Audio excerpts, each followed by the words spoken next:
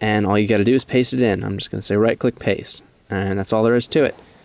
And just do an open bracket slash YouTube to finish off the comcode tag. And that's it. Let's see, Portal does the rest. Add the topic, and we can try it out. Another dangerous game kids play is to tunnel in snowbanks near the road. A few years ago, one boy actually.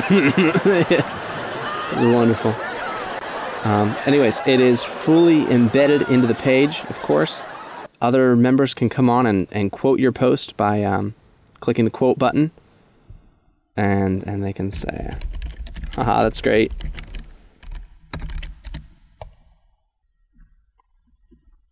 And of course, their, um, you know, their quote will include a copy of the, the YouTube tag. All right, before we move on, I want to tell you about one more thing about custom comcode tags, and that is the power of parameters. Using parameters, we can allow it so that our members, whenever they use the YouTube tag, can customize anything. They can customize the height and the width, they could change the color of this, and you do this through parameters. So let me take you back to the admin zone real quick, and I'll show you how to use these.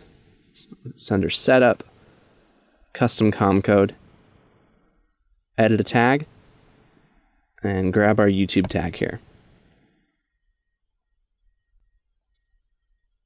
All right, the basic idea is that if we want to allow people to change any more of this YouTube HTML, we can do that with these parameters here. So, for instance, notice how the object width and height are both hard coded in here.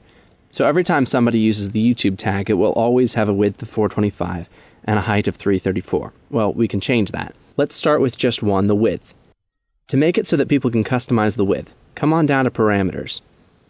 Type the name of your parameter, we'll call this one width, makes a lot of sense. And you need to choose a default value, and this is the value that'll be used if no one decides to change it. In this case, 425 is a pretty good standard size. So let's say width equals 425 in the parameters field. Now come up here to where that 425 is hard coded. Delete the number 425 and instead do another symbol. It's curly brace width, close curly brace. Now this is a parameter. So if someone chooses a width of say 300 or 600 or 20 for anything they like, that number will be put in here. So essentially they can control it, which is great. So to set more than one parameter, just add a comma. So we have width equals 425, comma. I'm going to say height equals 334 because that's a good standard height. Now, just like before, I'm going to come up to where the height is hard coded, delete the hard coded number, and do an curly brace height instead. And this way, when people choose a height, that number will be put in here instead. So that's the basic idea. In this particular YouTube HTML, everything is used twice. And I'm going to just scroll on down here. If you look, the width is also set here and here. And this is just the nature of YouTube's code. So just do it exactly the same way we did before.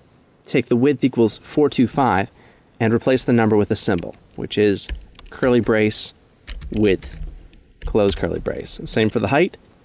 Get rid of the 334 and instead do curly brace height, close curly brace. And that's the idea. One thing that we ought to change now is down at the bottom our example. And if you recall, this is to show the people using your website how to use the tag. So let's tell them now that they can change the width by showing by example. Width equals, I don't know, 640. Height equals 480. This way, anyone reading the documentation will see, oh, look, cool, there's this YouTube tag that I can change the width or the height or um, put my video ID in the center. So there is our example code. And let's just save it off. And we'll take a look at it in action. Back over at the forums. I'm going to jump to my funny video topic here. And just to save time, I'll go to this top one here and just edit it. So here's our same comcode tag right here. What I'll do now to control the height is after the word YouTube, but before the close bracket, I'm going to do space. Width equals, let's go huge, 800. Double quote. And we'll also say height equals 600. So this will be a pretty big one. Let me show you a smaller one too. I'm just going to highlight this line and just copy it, Control C. Come on down and Control V to paste it. And I'll show you the, the width. We'll make this 160 by 120. And I'll leave the same video code in the center. So it'll play the same video, but this one will be very big, this top one, and this bottom one will be much smaller. So, come on down, save your changes, and check it out.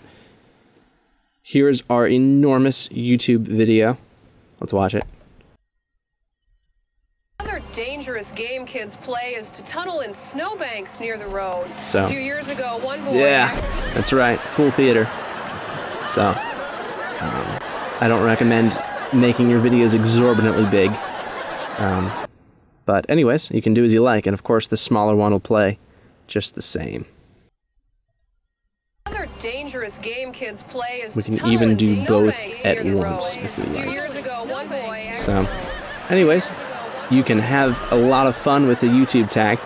And of course, anywhere on your website that supports Comcode can use any of these Comcode tags. So if you'd like to litter YouTube videos all across your pages or in your frequently asked questions or your downloads or in any field in the whole website that supports Comcode, which is most of them, you can use these custom Comcode tags. So, there's a lot of possibilities for these tags. I hope that you find some creative ways to utilize them for your website and you find them a, a good time saver because they're pretty powerful little tools. Well, until next time, this is Alan Ellis with ocPortal. Thanks for watching.